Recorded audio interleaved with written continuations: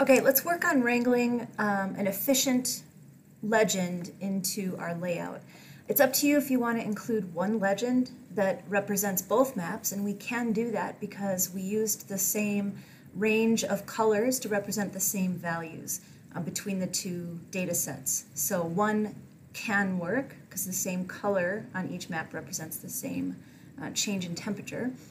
You could also use two, and that might help draw attention to the max value in a cleaner way. Um, they're going to look very similar because, again, the colors match the numbers, but it would allow you to uh, focus on the um, max value for your you know your one time period versus the other because i would guess that there's going to be a difference there and so if you want to draw your audience attention to that two legends might actually be better when you insert a legend remember that it's going to reference the data set that you have highlighted so from my insert tab i can insert a legend i'm going to draw a space for it um, i am you know constantly disappointed with how hard it is to make a good legend in ArcGIS Pro. It's certainly not impossible, but I think you have to get into the weeds uh, way more than you should have to.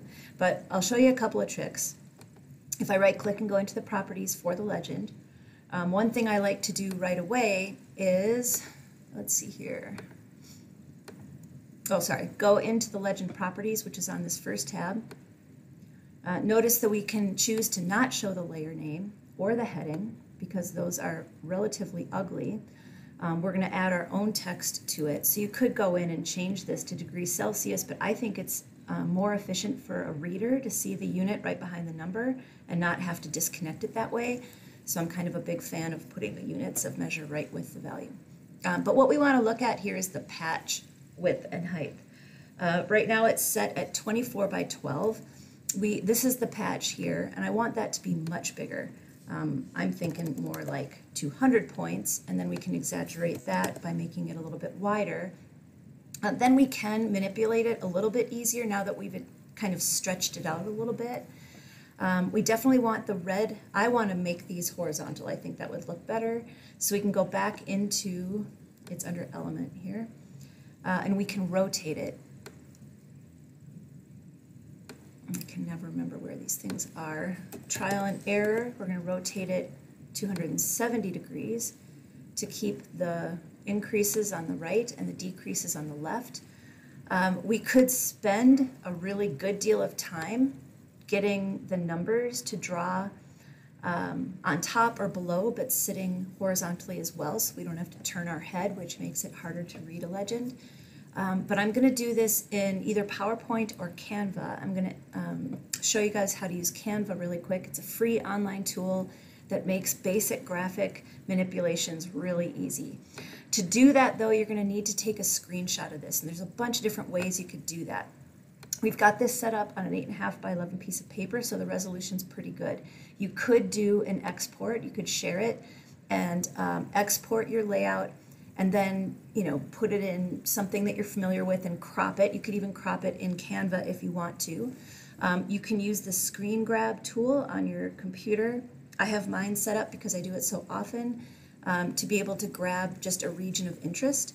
So what I want to do is make it as big as possible so that I've got the best resolution to work with on my screen. And then I'm going to use my screen grab. Uh, you can figure out your own to grab this guy. It's copied to the clipboard. And then I'm going to go into Canva. So C-A-N-V-A, um, there's just different templates you can use. I'm going to use poster because it is going to preserve the resolution. And then I'm going to control V to paste my color ramp in there. Um, much easier to work with in here. So uh, we can add text it adds it for you. Maybe we want the end to read 4.5 degrees Celsius. Um, we can choose to label that above or below, and uh, you can resize this using the tools up here. You can uh, type in what you want. Um, yeah, however you however you want to do that. Uh, let's see if I can make this bigger just so we can move things around a little bit easier. So um, this is the maximum increase in temperature for my shorter time period. My other one had an increase of three degrees as the maximum for the 30 year time period, and I might want to label that on here. Um, I might want to have some kind of annotations that point that out to people because that would be really eff- um, effective. So um, we might want to have though nice e- equal divisions. We don't have any temperatures that were decreasing this much, only as much as maybe a half of a degree Celsius. So let's put in some markers. Um, you can go into the elements and in lines and shapes, just kind of look for something that you want to use. I think this one looks kind of cool. I just saw this go by, so maybe we'll try this one. It's just a bar with two things on the end. If you get it close and use the shift key, it'll lock it to a vertical.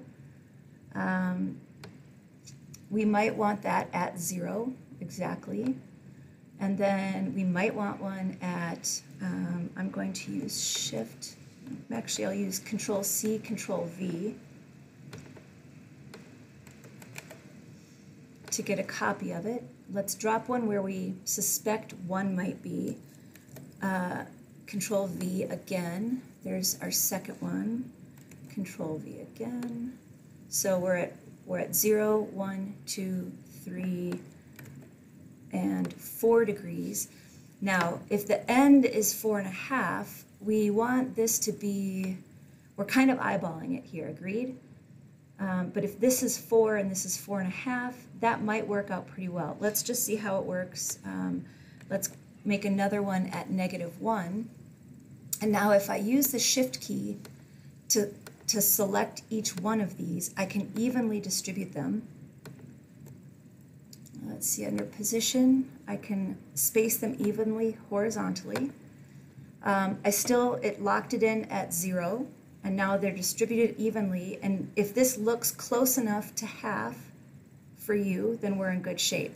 If you want to tweak that, um, you know, and it's close, but maybe that's um, a little bit more reasonable. It's up to you how picky you want to be about this, but it should be uh, not distractingly incorrect. So I'm just going to do it one more time. Position, space them horizontally. It still looks pretty good. Did it work? Well, let's just run with it. Okay, so we technically don't need this end of the color range, but we can leave it there just for balance and symmetry. That's fine. Um, you might want to label these guys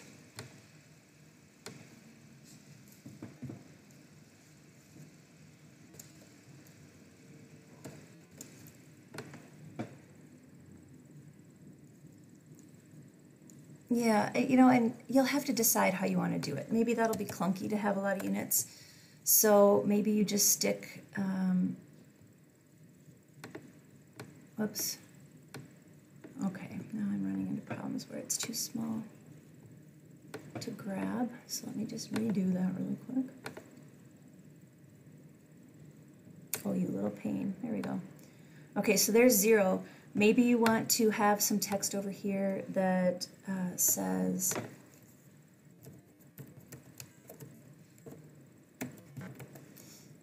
and maybe you want to, you know, oopsie, put that over here.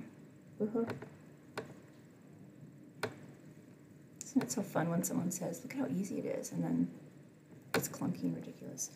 Uh, and then this guy would say negative one.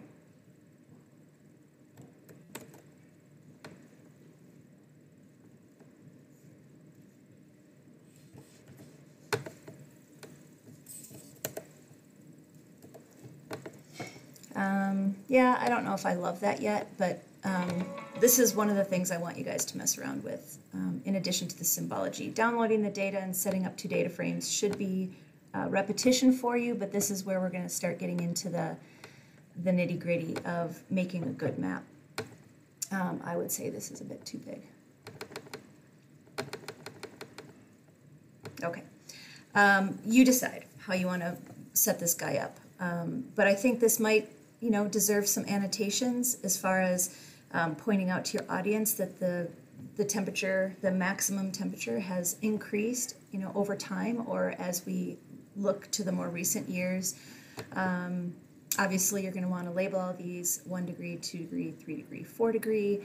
Um, yeah, and then what you'll do is export this thing. And this is where Canva gets a little bit, um, you have to be a little bit sneaky. Uh, Canva will let you download. You might get one free one or something like that. So if you use the download button, you could print this to PDF. Uh, you could, you can make lots of uh, different things for yourself. My kid has made whole animations in Canva. Um, you could export it to PNG. Um, that's a high quality um, image uh, way to do it. I think that works great.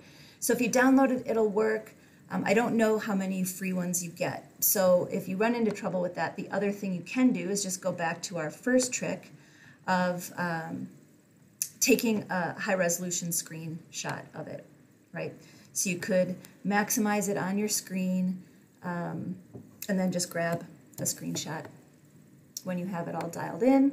You could save that as a PNG, um, or you could um, just, well, you could save it as a PNG and then insert it back as an image into ARC, or just copy it to the clipboard and paste it into ARC. That way, a lot of different ways to do it. I think it would be probably good to have uh, an image of it so that you can mess around with it, but um, that's what I would recommend doing for the legend. The idea is to shoot for something along these lines, right? These are different values, but this could be your you know maximum increase in temperature for uh, your earlier time period, your later time period, and then you know the min and max uh, uh, decreases in temperature over time, and how those uh, rotate around this neutral point. So this is kind of what you're shooting for. Of course, you can make your your legend um, vertical instead of horizontal.